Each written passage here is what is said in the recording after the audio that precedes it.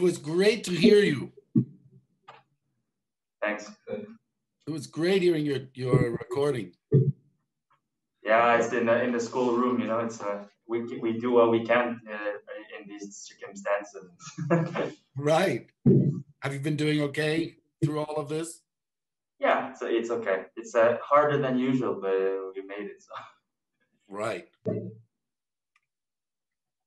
Jorg, your your command of this is so impressive. Your uh, your playing is fantastic. Um, what I miss from you is the variety of characters in the in the piece. Do, do you do you have an idea what I mean? Uh, you mean the, between the sections, maybe? I don't know. Yeah, mm-hmm. that the that you can distinguish the different parts of it more from each other. Okay. At the beginning, right away, what character do you have in mind at the beginning? Beginning is like, I don't know. For me, it's like a Hungarian dance, probably something like this. I'm with you. Yeah. I think it has to have that uh, that quality. It's interesting also that he writes allegro non troppo. I don't know if you play it too fast. That's not necessarily what I mean. But what does he mean by non troppo? Why does he say that? Do you think? Well, he's afraid people play it too fast, I guess. Maybe that's it. when I think about it, I I think that there's the rhythmic things mm-hmm. that he does need to have a certain kind of swagger or panache or mm-hmm. spice. You know, they're mm-hmm. even the first bar, and so if you gloss over any of this of these rhythmic um, characters, we we lose a little bit the that panache. You know panache. You know that. I mean, I don't know the word, but I know what you mean. okay, great. yeah, so, so that it has, it has. Uh, so it's the difference between or if you know what I mean. Um, you know, Leon Fleisher used to say, great rhythm is when you play the note as late as possible without being late, which is a strange thing to say, but I think we know what he means. And that's what I miss when you when you start this movement. I miss that feeling that everything's really taken care of and and is given its its exact measure. Would you mind trying the beginning again?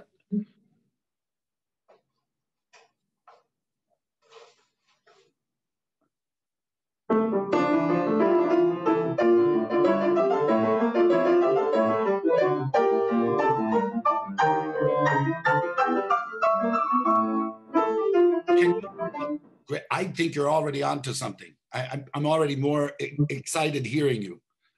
You're doing more interesting things with it. Can can I ask you? Would in the left hand, can you pay more attention to the to the sixteenths in the left hand and how you use them, how you shape them? Okay. Um, maybe when the right hand has some space. Exactly. In between. That exactly. Okay. Um,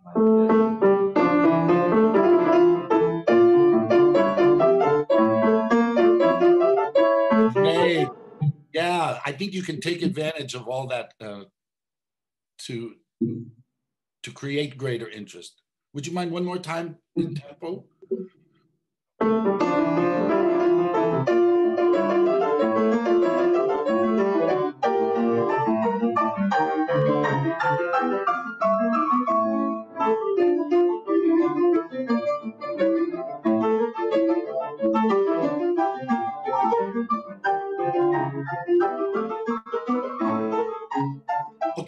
Great. I now have a question.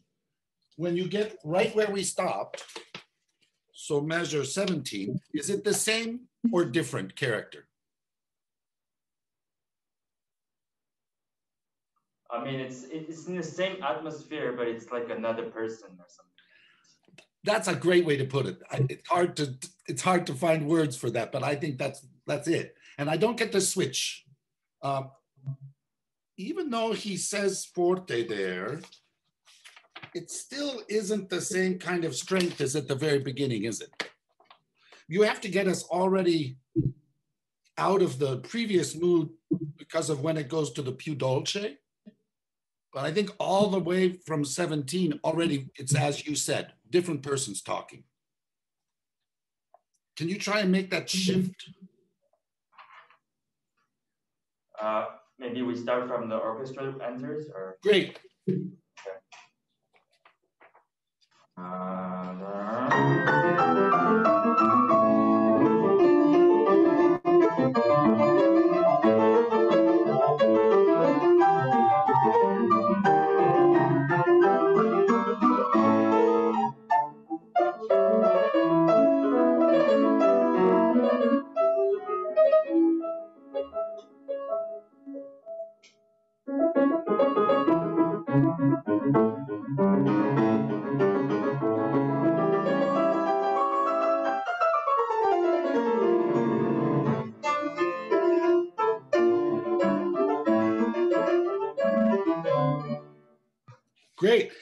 Uh, can you take a look at 24?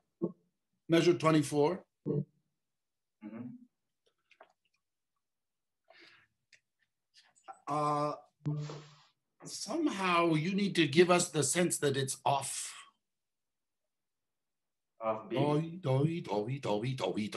It's not in the right place, right? On purpose. I- And somehow I feel like you can make, uh, you can enjoy that more and make it more interesting for, for the listener. If you do too plainly, dotty, dotty, dotty, dotty, dotty, dotty, it could be on the beat, off the beat. Doi, doi, doi, doi, doi, doi. And then you're, you're setting up that crescendo too. How about from 17 again?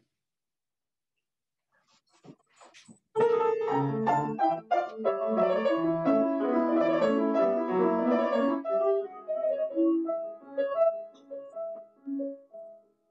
Thank you.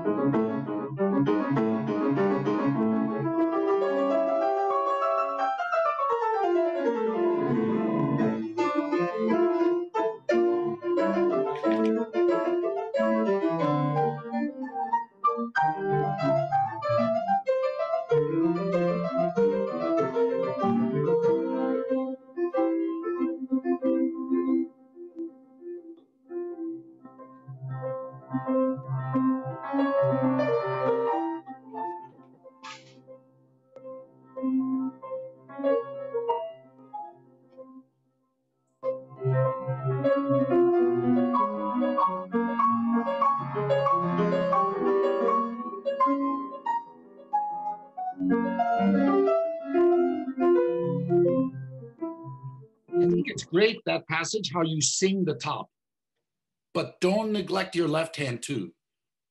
You, I think your left hand can support that top more. The sensitivity, the first two notes of each of those. Oh, so you mean it's too neglected? Yeah, I think so. Okay. Not enough care. Mhm. Would you mind 46 again? Two bars before.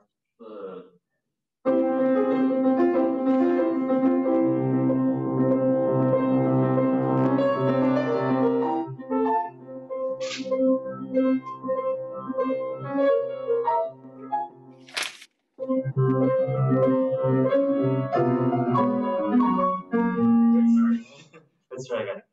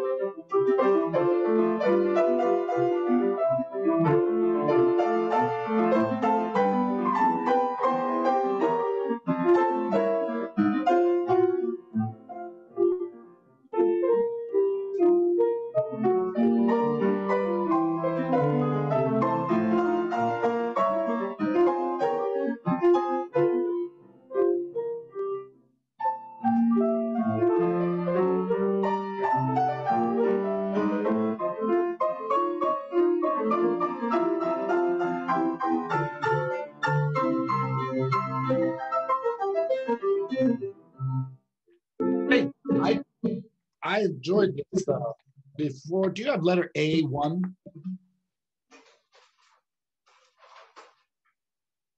Yeah. I think what you were doing before A1 was you got the right idea. Singing through all of that. That sounded great. Then at A1, uh, take a look at bar 78. What, what's going on there? What, uh, what, what? What's happening bar 78 for you? 78. Uh,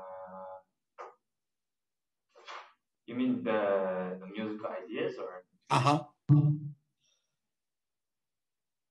Uh, I don't know. It's like it's hard to say. Uh,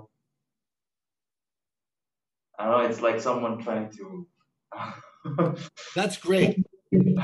That's what I didn't hear. okay, maybe more. Uh, That's great. That's that's the right word for it. Is this? trying to uh, invest uh, maybe not that sad. right. uh, But something noticeably different from right before, right? And then it goes back in 82. ah, uh, And then just before that, I think also you you can pay more attention. D, oh, D, oh, do you see in uh, 75, 76? uh-huh. The, the, and even in 74 with that diminuendo, da, dee, oh, oh, there's a kind of sighing figure there, right? So the, the quarter note shouldn't be as strong as the eighth. Ti. Do you want to play once more? Uh, 66? I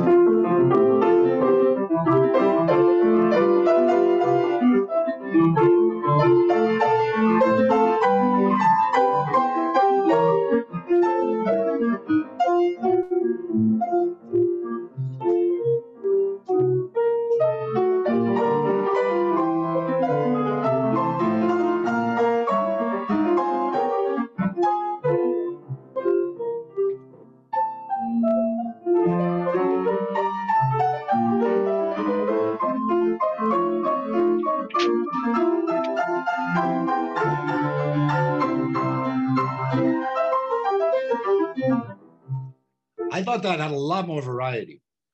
I, you had my attention. That was that was great. And then could we go ahead to the uh, B flat major section? So 181 is it? 181.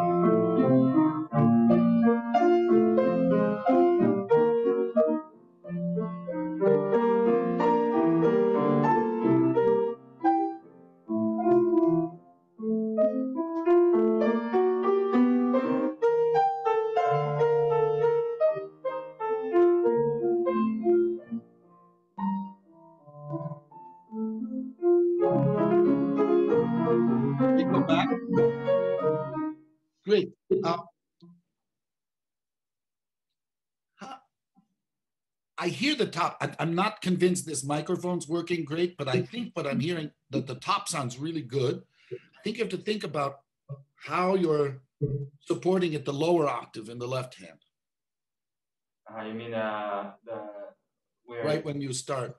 Oh, okay. Uh,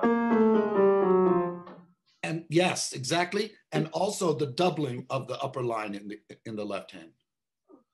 ah, okay, okay.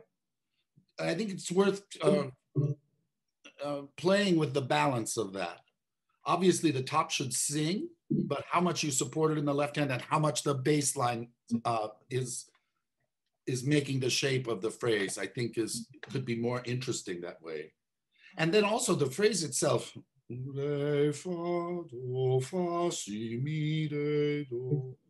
I, I don't hear what inflection you would like to make yet. I mean, I think you have a lot of options. Uh, you could re, fa, do. You could do that. You could re, fa, do. Or you could do fa. Some choice. If you see what I mean, there, it, it, it's lacking a, of a shape. The phrase, the shape of the phrase needs more, more inflection from you. And then uh, I think 197 is another change.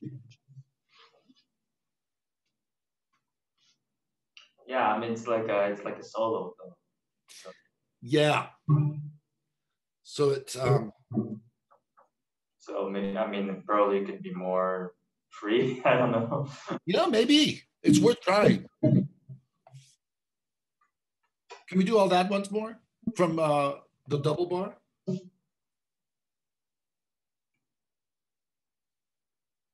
Uh, 81. What? What? Yeah. Nice.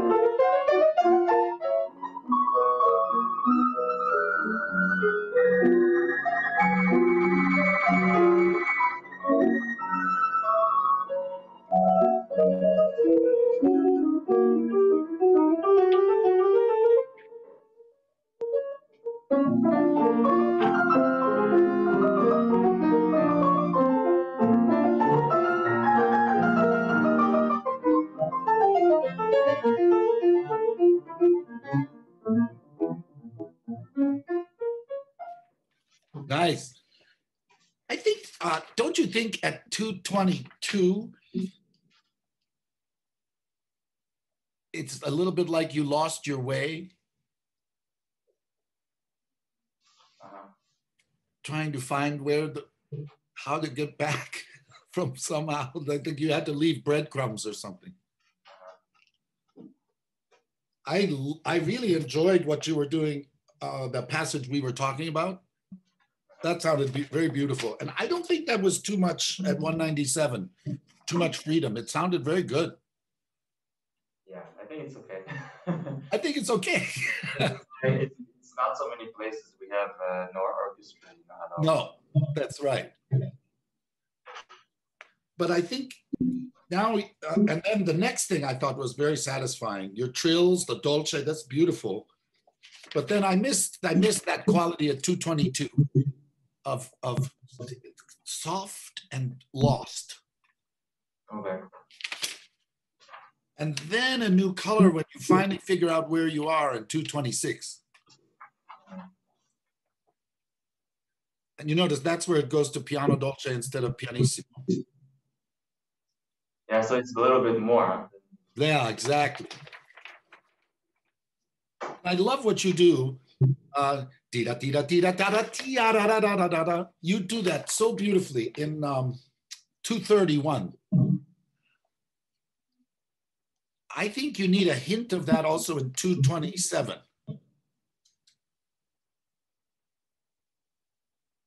Going out of two note slurs and into more legato.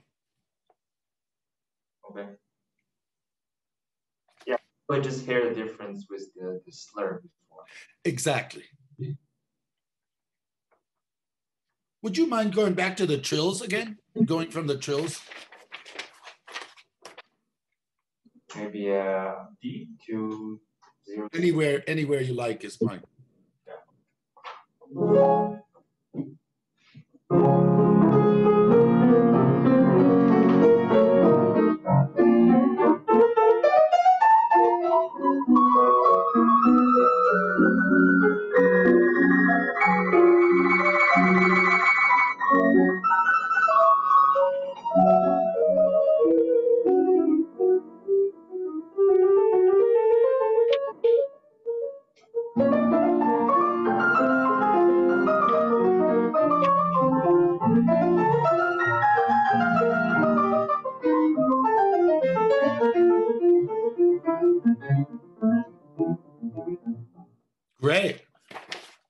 Loved your getting lost. that was beautiful. And then this next passage, after the orchestra does the fugato and you come back in, I don't know how how you hear this. Um, you might hear it very differently from me, and that that's that's fine. For me, it, it is it's a kind of elevated, transcendent feeling. Do you get that at all? Yeah, yeah, yeah. So there's something in the color and the articulation that you want to get away from the bite of how it is normally in D minor. And then this F major one has more, it's more tranquil in a way. Does that seem right to you? Yeah, I mean, it's like it's like a kind of a little bit of uh, of light, you know, after a kind of uh, storm or something. So yeah, exact. I get that too. That's exactly what I'm wanting to hear when you when you come in. It needs a it needs that mood, and I think you get it from from the articulation being gentler and the and the color that you get.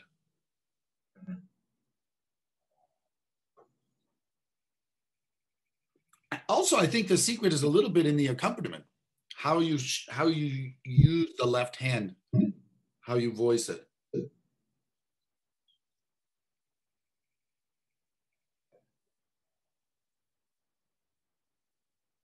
I mean, I use some pedal. I think that's good. Yeah, because otherwise it's a bit too uh, similar to the start. I I agree with you. So you want me to try it? You want to try it? Sure. Okay.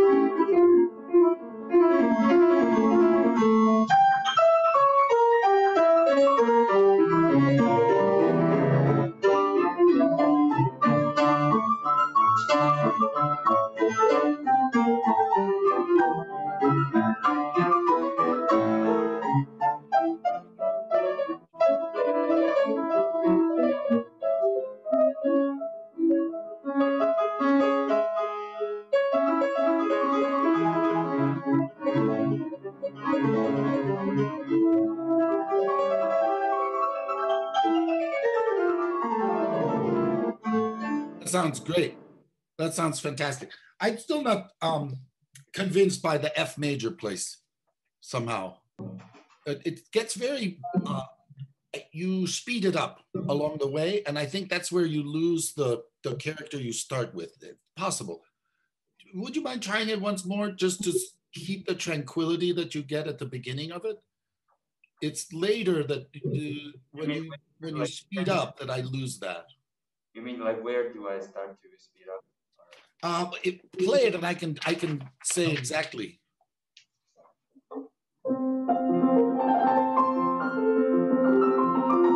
There. There.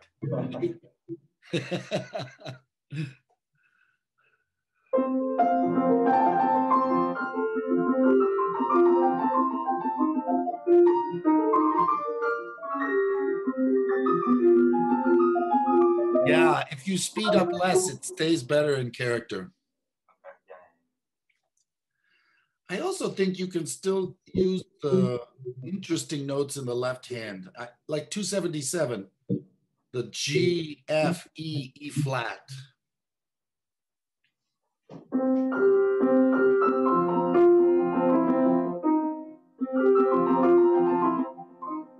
Isn't that great? Isn't that beautiful? What do you say? Like a hidden voice. Yeah.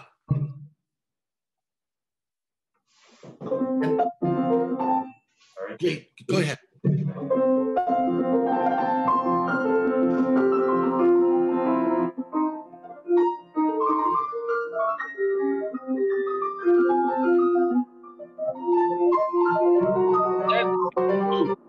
If you do as you did, you, we hear the G, F, E, E flat, then you pick it up again, E flat, D, D flat. Ah, uh-huh. Okay, so continue. Yeah.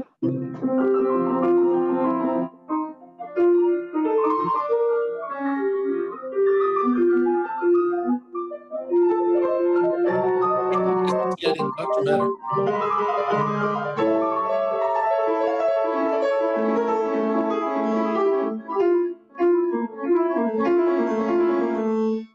Yeah, I think uh, now it doesn't feel like it. It feels like it's in a completely different character in in a good way.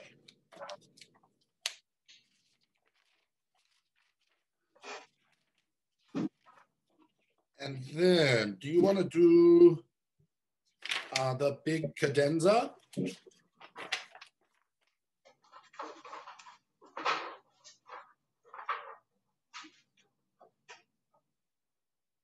Uh, the cadenza directly. Uh, if you want to do something before, sure. I mean, right on it. Either way. it's pretty much the same.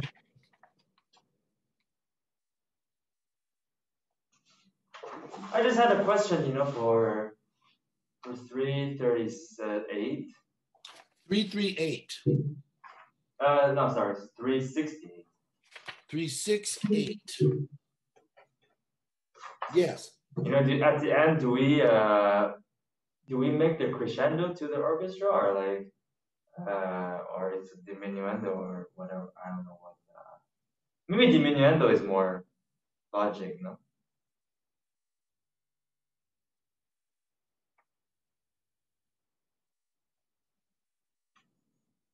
Or we don't really care. We just go and orchestra do what. I'm trying not to answer you too quickly because I know I have a, a bias. I'm used to hearing a crescendo even. I'm Yeah. used to hearing it go all the way to the end, but know your diminuendo idea is not, I mean, that's, that could be very interesting. because the crescendo is I know it's like the common way. Right, exactly. So I don't want to just say, because that's actually a great question. You know what John Cage said once? You know, that is a very good question. Question. I would hate to ruin it with an answer. but even no joke, that's a very. I want you to. You, are, would you be willing to try it? I'd love to hear it. See how it works with a dim. Uh, okay, so we try both. Yeah.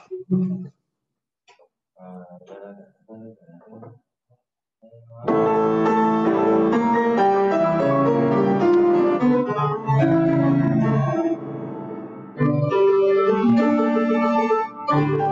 other way.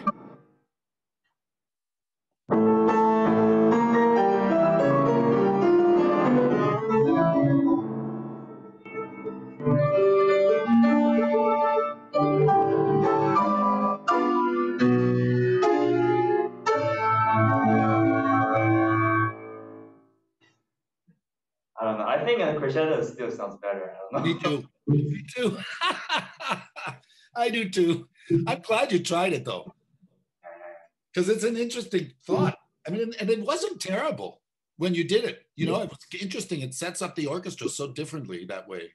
Yeah, yeah, yeah. But I think the crescendo is better too.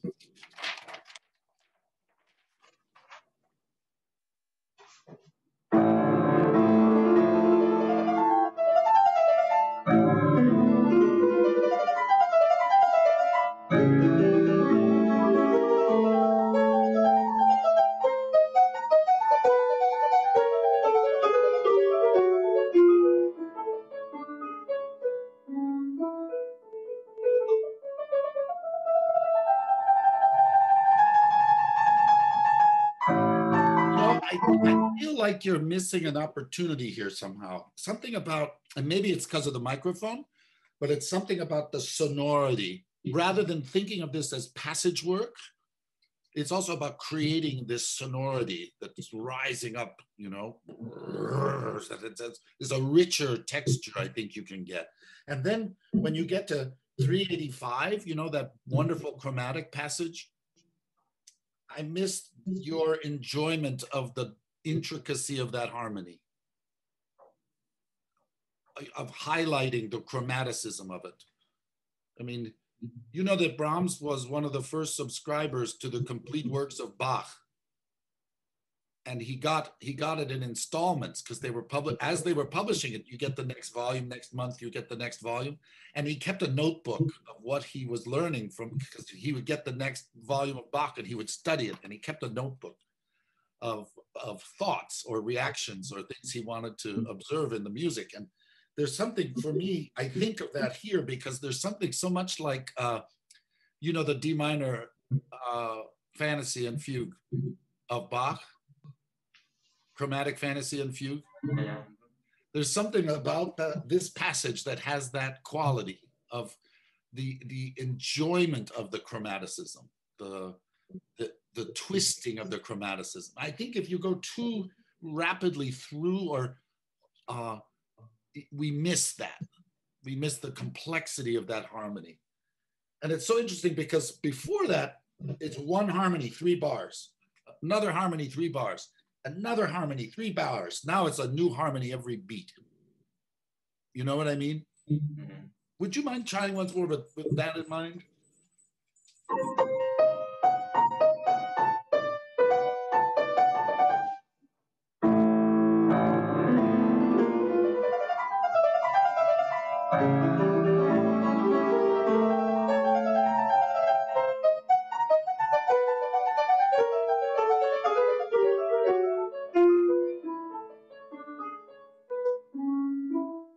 That was for me. That was much more satisfying. I hope you like it. For me, that's so much more interesting and, and beautiful, and uh, that was terrific. And then, what about this? The the next bit after the trills.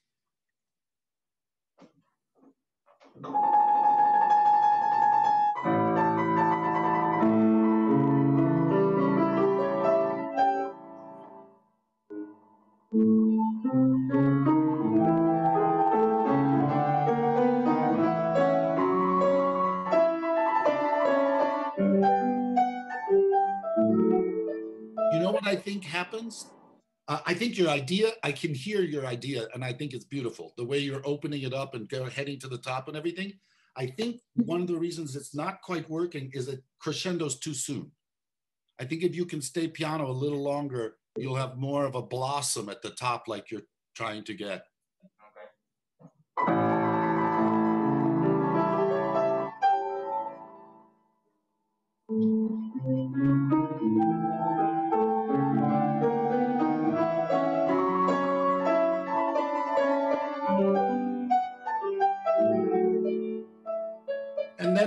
Another question for, I think that works better already. I have another question for you. Does the crescendo go past forte or does it go to the forte in 402?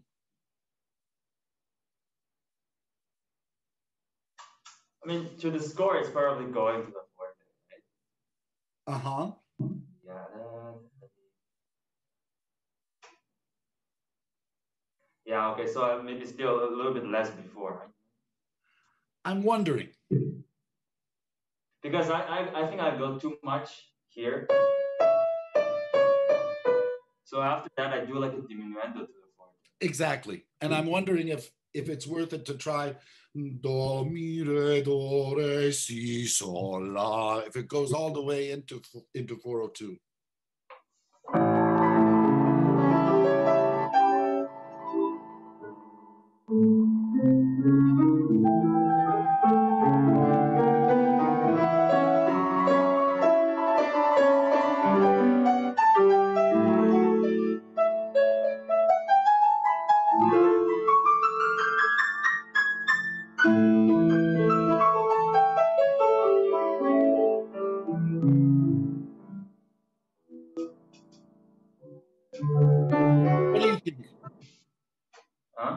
What did, what did you think? I think it's more logic. Maybe.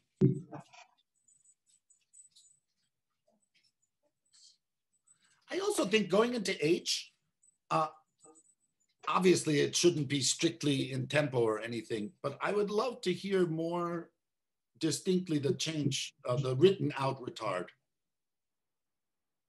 uh, where? Uh, right into going into H. Oh, I don't have letters.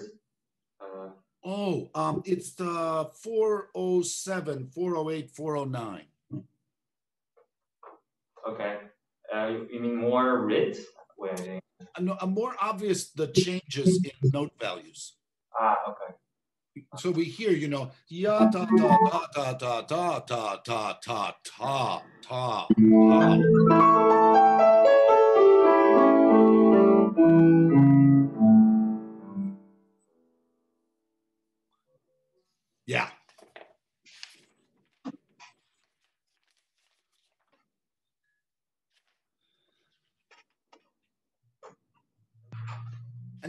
Would you mind uh, playing for me again uh, the, the Meno Mosso section, the, the D major section?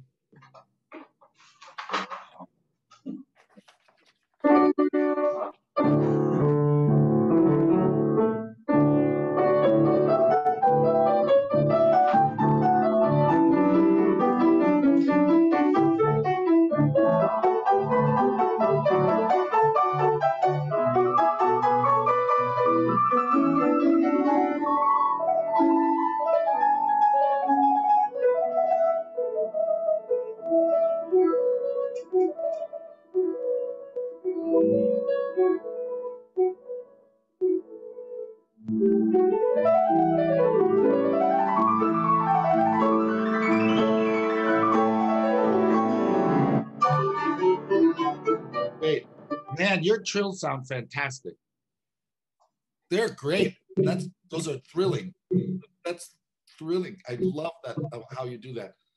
Um, I don't find the do- piano dolce satisfying. It's it sounds uh, very um, dia, da, da, dia, da, da, di. So the the character doesn't seem quite right to me. And yet the, there's the slur, and then there's the dots with the slur.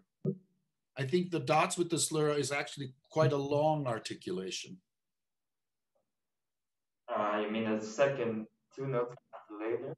Uh huh. Longer? Longer. Okay. Yeah, it's probably more like the orchestra. I mean, uh, Yes, exactly. Exactly. And then the character is, is more dolce.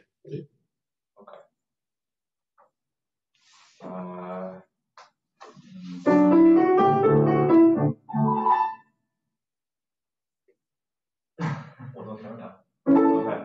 okay.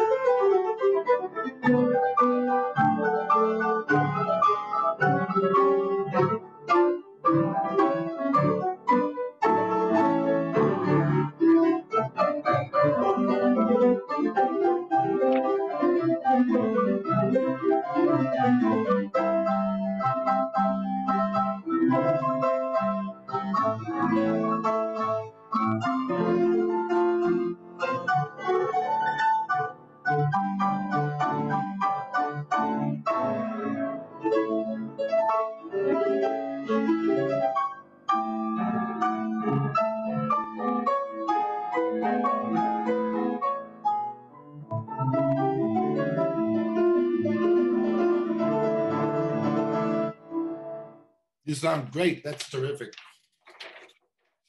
That's thrilling. Uh, uh, that that coda. So wonderful. It's a pleasure to hear you. Do you think the tempo is okay, or it's it should be a little faster? The coda tempo? I mean, from the presto, I don't, I don't any matter. Yeah, I think it's good. Okay. It felt very good. It felt it it, it felt uh it sounds it very in a in a good way, they're very sturdy. And actually, I wanted to ask, you know, before, just before the cadenza, uh, at 94, 98, Yeah. yeah, do we do like a retardando here, or That- That's the million dollar question again. It- It's so funny, you know, I've done this piece with so many different pianists where I'm conducting. because there's a there's a fermata after, so logically we don't do a ritardando, but So I have notes from different people, strictly in tempo, molto ritardando, poco ritardando, strictly in tempo. I've done it every way. Um, it, I'll give you my opinion. I think if you slow down just a little, basically for both bars and don't make more retard, yeah, yeah, yeah. and I think that's the most successful version. Dum, dum, um, chick, um, chick, um, chick, um, chick, and then place the last note, the downbeat. Um, beat, um, beat, um, beat, um, beat, boom. I think that one, that's, for me, that's the most satisfying I've ever heard anyone do. It, the one I found less, if you go absolutely in tempo, cha, um, cha, boom, that's very successful too. The one that I think is not that I've I've even done it because you know I didn't want to fight with the guy. well, but the, the one that I think is least successful is if you slow down through the two bars. So that one for me always feels artificial. Mm, mm, mm, something just doesn't satisfy me about that one. But I do like that little bit you like pulling the reins just a little bit. But the, if you want to go right out in tempo, that can be very exciting too. Even if you drive it to the next downbeat, it, it can be really thrilling.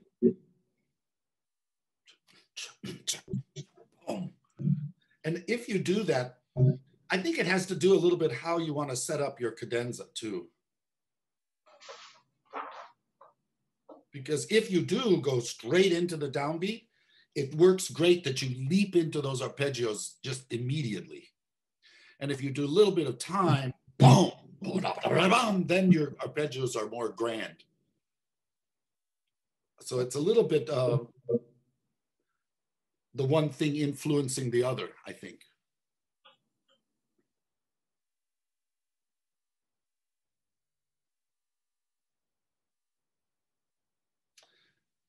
I think placing a little bit is, is good because you know the arpeggios has an accelerando, so it's better that we start a little bit. Yep, that's a good way to look at it. You know what is this?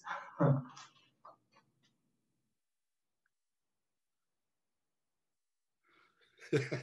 I really, I really do have all those notes from different times, uh, all contradicting each other. That's wonderful. yeah, it's always like this in a conductor's book or something. Pardon, say that again. No, I I have uh, you know played with other conductors and they say the same thing.